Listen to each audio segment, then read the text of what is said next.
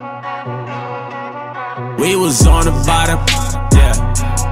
Now we headed to the top, new level. On my level, don't see anybody. I don't see them. This right here could never stop. This could never stop. Hey, this right here could never stop. Hold up, nah nah. Hey, this right here could never stop. Hold up, nah nah. Hey, this right here could never stop. Hold up, nah nah. This right here could never stop. Hold up, nah nah. One time, one time. I live on the job, right? Yeah, I'm always at work, right? Real people stay by me, right? Haters wanna do hurt, right? Know they tryna stop me, right? Drag my name through dirt, right? I don't feed into the hate, right? I just answer with a smirk, facts. I feel so special, facts. I know my worth, facts. My bloodline royal, facts. We the kings of the earth, right? You can't stop this, nah nah. You can't stop this, no way. So-called Jamaicans, so-called African Americans, we are the Israelites according to the Bible. Read on. Many of the Jews who were banished from Portugal uh-huh. by John II settled in the West Indies. Where did they settle? Settled in the West Indies. That's your Jamaica. That's your Bahamas. That's your Trinidad and Tobago. That's where our people are, but God calls them the Israelites. Read on. John Bigelow, who visited Jamaica in 1850, saw the descendants of these Jews. So John Bigelow knew who the Jews were. They knew who they were. So now we're gonna we gonna read it in the Bible. How did we get from Spain to uh, to Jamaica to America? Give me that in Deuteronomy 28. Slave ship. Exactly, by slave ship. So Carl, you know a little bit about history. So if you know that you can't go around calling yourself a Jamaican no more, what should you be calling yourself?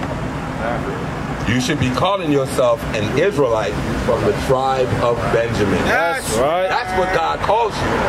Read uh, verse 68, because we're going to show you the means of how we move from one island or one uh, continent to the next. 68.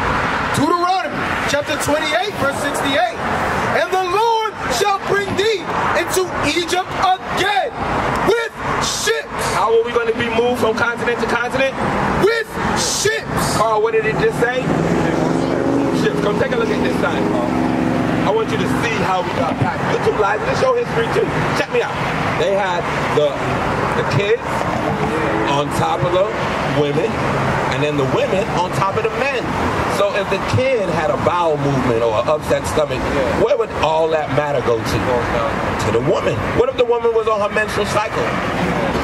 It would go to the man. What if there was a dead body strapped together? Disease, infestation, right? But before they did that, they had us linked together like a sardine in a sardine can. It's the blueprint on the top of the ship. Exactly. This is how we was on the top. This is how we was on the bottom. And they didn't they didn't escape nobody. The men were there, the kids were there, and the women were there. Right. Letting you know that hey, none of us are separate because God brought us all into captivity. Read it again. How did we get into captivity? And the Lord shall bring thee into Egypt again with ships. With ships, Carl. With ships, Liza. Go, uh, hold that. Give me Deuteronomy chapter 29 and verse 1. I want to show you who Moses is talking to right here. Read. Deuteronomy chapter 29 and verse 1. These are the words of the covenant which the Lord commanded Moses to make with the children of Israel. So if God told the children of Israel, Judah, Benjamin, Levi, Ephraim on down, if you don't keep my commandments, I'm going to put you on a slave ship and send you all over the world. And that happens to be Carl's history and Liza's history. Who does that make us? That makes us the Israelites. That's, right. That makes us the, the, the, the, the most secret, untold story that has been kept from our people Right. since we got off the slave ship. Check. What about the Great Flood? The Great Flood with, Mo, with, with Noah? That was before this. Understand? Back then we was called something else, but now God calls us the Israelites. Yeah. So let me show you what happened, Carl. Let me show you what happened, Liza. Because something had to happen where God took his chosen people and then set them away. Give me Deuteronomy 11 and 26. I'm going to catch y'all up. I'm going to show you why it happened. Because we know it happened. Can we deny it happened, Liza? Can we deny it happened, Carl? All right, we're going to show you why it happened. Deuteronomy 20, I'm sorry, 28 and, uh, 11 and verse 26. Read that. Deuteronomy chapter 11 and verse 26.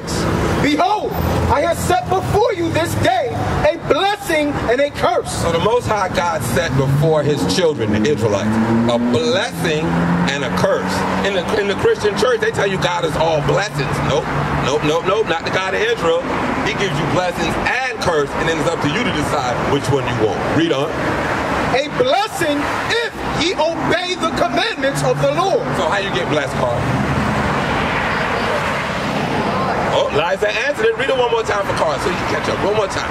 A blessing if ye obey the commandments of the Lord your God, Read. which I command you this day. Uh-huh. And a curse, And a what? and a curse. Carl, what's a curse? Curse is the spell? Okay. I'm going to show you a curse. call it punishment. A punishment. Liza's on it. A curse is a punishment. Right. It's a punishment. So why would these curses come? Read it again. And a curse if ye will not obey the commandments of the Lord your God, but turn aside out of the way which I command you this day, to go after other gods. So God made a covenant with us. He said, you know what, my children? You keep my commandments, I'm going to bless you. If you don't keep my commandments, I got curses for you. I'm going to read one curse, Carl, Liza, and y'all tell me if these curses fit everybody or they just fit one group of people, which would be the blacks, Hispanics, and Native Americans. Give me Deuteronomy chapter 28 and read verse 16 for Liza and Carl. Because right now, y'all are learning who y'all are. Carl, when you leave from here, you got to call yourself Benjamin. Right. Liza, Benjamin. You can't go around calling yourself West, which is a direction. Indies means slave I remain, and black is a color. That don't mean nothing. Bring it out. Right. God calls you Benjamin, son of the right. Right. That's what you got to go around calling yourself. That's right. So let me show you one curse to see if these curses fit us or maybe another people. Read verse 16. Deuteronomy chapter 28 and verse 16. Cursed shalt thou be in the city. So Carl, I'm gonna start with you. What city you live in? Okay. Run Lauderhill, Lake Liza, you same place? Before you came to America, what city you live in? In New York. In New York. Did you live in the ups uh, the upstate part of New York where they had like high rises and mansions, penthouses? You lived where? In the ghettos. What about you, Liza? Same thing? Yeah, I was born in New York. Okay, in New York, they got something called a barrio. That's the, the barrios, right? The projects. How come our people always dwell in these areas? Hey, we got the Bible dictionary. Let me get the word ghetto. I'm gonna show y'all something with the word ghetto means. So you say you live in the barrio. You live in Lauderhill. Is Lauderhill the upscale part of Florida? Sister Lash, you're like, nah, nah. Certain parts of Florida is, if you go across the train tracks closer to the beach, Right. totally different. But when you get to the 31st, you get to the MLK Boulevards, then you start seeing the darker shades. You start seeing the separation, so-called Spanish people, black people living in ghettos, waiting on the next stimulus check, Right. waiting on the next handout, right? Waiting. We don't live in the best areas, so God calls that a curse. Read it again. Cursed shalt thou be in the city. God says you're going to be cursed in the cities. You know what else happens in the cities to know that we curse? Right? This is your daughter? All right. Can you trust your daughter to walk on the streets at 10, 11, 12 o'clock by herself in the city? Nah. Because we got people out here that's snatching up our daughters, Right. snatching up our wives, Bring it out. never see them again. Right now we got over, what is it, 64? 64,000 missing black and brown girls. And no one seems to care. Based on a, a missing poster or behind a milk carton, no one cares. No news coverage of that. Lil, Lil Susan goes missing. We got an Amber alert on the phone. Bring it out. All right, Lil Go missing. Ah, Nobody care about that now. Let's keep it moving. That's it. Let it go, whatever. So, God said you be cursing the city. Let me show you another way we curse in the cities. In the inner cities, right? The household is normally separated where single parent household, the woman's raising the kids, or the man raising the kid by himself. Normally not a married home. That's cursed being in the city. We got drugs, violence, gangs, influence, murder, Prostitution. all of those things, prostitution, all of that happens in the city. You ever heard about the inner city? Yeah, exactly. That's what happens in the inner city. Your name? Huh? Jeremiah, your name. Marcus? And, and what? Jordan. Jordan. So we we dealing with Lala, uh, Carl, and Liza. We're showing them that they're the Israelites. All right, we showing our people who they are based on what God says. Read this verse again, and I'm gonna catch all of y'all up. Read verse 16 again. Deuteronomy chapter 28 and verse 16. Cursed shalt thou be in the city. So you young, you young men, y'all live in the city too, right? Y'all live right here in Lauderhill. So can y'all tell me some things that goes on in Lauderhill after dark? Is it the best neighborhood to live in? Or do we have a lot of police activity? Do we have gang activity? Do we have breaking and entering, stealing and thievery going on? Does that happen everywhere or does that normally only happen in our community? Hmm? Our community. You know, you know why that happens? Because the young men don't really have a father figure. So when they don't have a father figure around, you know what they tend to, to lean to? Another person that leads them into gangs, the streets, end up doing things that they know they shouldn't be doing. Y'all, y'all young brothers, y'all ever in, uh, encountered uh, what's it called? Uh, uh, peer pressure. Peer pressure. Even the young girls too. And you know where all that happens? Right here in the city. Read it again. Cursed shalt thou be in the city. The reason why we curse in the city, you young brothers, is because God calls us the Israelites. And we don't know that we the Israelites. We call ourselves, what's your father? Come on, let's closer. What's your father's nationality? What's your father's race? Right here. Say your name was Derek, right? Jordan, what's your father's nationality? Come on up, you two. I'm, I'm, I'm gonna get y'all in here too. If you're a black man, Jamaican, Haitian, Bahamian, what is it? Haitian. God called you from the tribe of Levi. Right. Right here, Nike shirt. What is your father's nationality? Explain to them the street, the slave ship. I'm, I'm gonna bring it all out for them. I need to know their nationality so I can bring it in. What's up? Haitian. Look, God don't call you Haitian. Because the word Haitian means uh, mountainous land. Watch yourself, sis. It means mountainous land. God calls you Levi. Right. Means joined to God. Right. What about you? Huh? Brazilian. Oh, wow. God calls you Asher. That's right. Right here. God calls you Asher. So all of y'all will be Israelites from the nation of Israel, tribe of Asher, tribe of Levi. We got Lala from the tribe of Judah, Carl from the tribe of Benjamin, Liza from the tribe of Benjamin as well. So I'm gonna ask y'all a question because I see y'all might have other things to do. What does Christ look like in the Bible? Take a look at this image right here. What? What? Light. Light. Come over here. Take a look at this sign. Light. Light. You can't see his face. Which image do they push in the churches? This one right here. Which one you say? This one right here. What about you, Liza? Which one is Christ? You got two images. Which one? One right here. Which one? Is it the Jim Caviezel one? Is it the one with his head up? That one right there. Young man, you going? I do what you gotta do. So which one you say, Liza? The one with the blue eyes. The blue eyes one. Carl, what about you? Which one you say? Huh? Which one they show you is Christ? Which picture in here? Yeah. Is that iconoclast? There you go. Okay, I'm gonna, I'm gonna get that. Is it this one right here? Which one? Oh, this is the one everybody have in their house. Their grandma got that one on the wall. Oh, you Said Bob Marley. Bob Marley, okay. Rasta gold here. Take a look at, show them these pictures right here. Before I even get into the scriptures, y'all take a look at these pictures. Show, read the name of that book.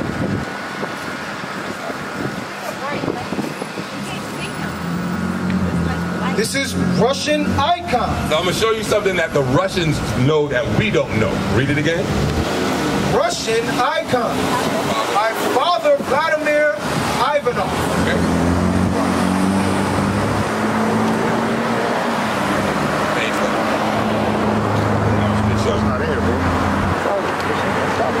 So, so the Russians know what Christ looked like because now you have these men coming into our records and painting the true image of Christ over with something called iconoclasm, meaning that they're whitewashing the Lord. So they're changing what his depiction looks like because the Bible records it. See, see, look, a dark-skinned man. But go back. They're making it into a white, pale-faced man. So now, see, look right here. Look. He got hair like wool, sheep hair, hair like you, hair like Liza. See that? Now they got him looking like this man over here with blonde hair and blue eyes. But they're throwing on his head to throw us off. Then they throw it in the movies. Now, I want to show you what they did with our images. Read that in First Mac. Was that 343 or 48? Read. Maccabees chapter 3 and verse 48. And laid open the book of the law, Which is the Bible. wherein the heathen The other nations, anybody outside these 12 tribes, God calls them the heathen. Read. wherein the heathen had sought to paint the likeness of their images. Of whose images? Of their images. So if they're painting their images over the true image, that means they're covering up what Christ really looks like. And the Bible records what he looks like. Give me that in Revelation. Well, read it first Maccabees 3 again. Read So that is uh, First Maccabees chapter 3 verse 48. And laid open the book of the law, Which is the Bible. wherein the heathen had sought to paint the likeness of their images. So if they're painting their images, which they show us in movies, that means they're covering up the true image. So now we're going to go to the Bible, and the Bible's going to give us what Christ looks like. Right. Because they say nobody knows, right? They say nobody knows. Oh, y'all go around, take a look at this image as we really. Yeah. Yeah, we're not supposed to idolize it. But read it one more time. I'm, I'm going to show this sister. Uh, uh, yeah, that's what they show us in churches. But they don't show us what Christ really looks like. They don't give us the true image. Read that scripture one more time for that sister. First Maccabees chapter 3 verse 48. And laid open the book of the law wherein the heathen had sought to paint the likeness of their images. So if they're painting the likeness of their image, listen, Carl, if they're painting the likeness of their image, it has to be an image that was there before, letting you know that we had our own images. But since we went into captivity, they, they took our image and gave them their image. Give me that in, in Revelation 1. Revelation 1. Since you ain't gotta cry, you, you learning you learning the greatest knowledge ever known to man today. the back foot. Yes, sir. Read Revelation chapter 1 and verse 1. Revelation chapter 1 and verse 1. The revelation of Jesus Christ. Now the scriptures is about to reveal what Christ looks like. Yes. Verse 14. Verse 14. His head and his hairs. So now we're about to get into Christ's head and his hairs. That means the hair on his head and the hair on his feet, on his face. Read. His head and his hairs were white like wool. Now it says his hair was white in color, woolly in texture. Carl, what people on the face of the planet have woolly hair or sheep's hair? There you go, so-called black men. Take a look at this image. Did this image have white or woolly hair? Straight hair. Straight hair. Like it was permed. Can't even be in the Bible. Read. As white as snow. Uh-huh. And his eyes. And it's what? His eyes were as a flame of fire. That means his eyes had a red tint to it. Look at this man. He got the blue eyes going. Not in the scriptures. Right. That's why they had to open the book of the law and paint over our images. Right. Read. And his feet. Now we going down to his feet. I can see Lala's feet. Read. And his feet like unto fine brass. Fine brass. You know what color brass is, Carl? Brown. So now it's like fine brass. Read on. As if they burned in a furnace. Now you take that fine brass or that brown and you throw it in a furnace, what color you think is gonna come out? It's gonna come out dark. That's right. Right. Christ, Christ had woolly hair and dark skin. Right. If Christ walked the earth today, Carl and Lala and Liza, they would call him a so-called black American. Negro. He would be called a black man. Negro. Understand? So Christ has a depiction. He ain't this so-called white man that they give us. The true image of Christ, he looks just like us. When I when I see you, Carl, I see the Lord. I see Christ. Right.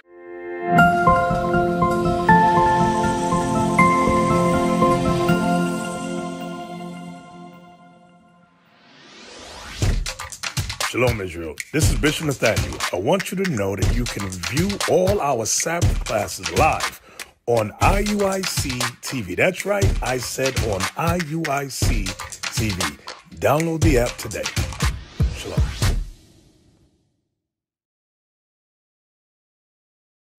We used to scream black power while heroin was pushed. But at the end of the day, nothing's in vain. IUIC has been given a vision. The tents of Judah has risen. Many has attempted the mission, minor murmuring, omitting, and missing the mark. Just reading that he had the flame of fire in his eyes gave us the spark. We on Paul's mission.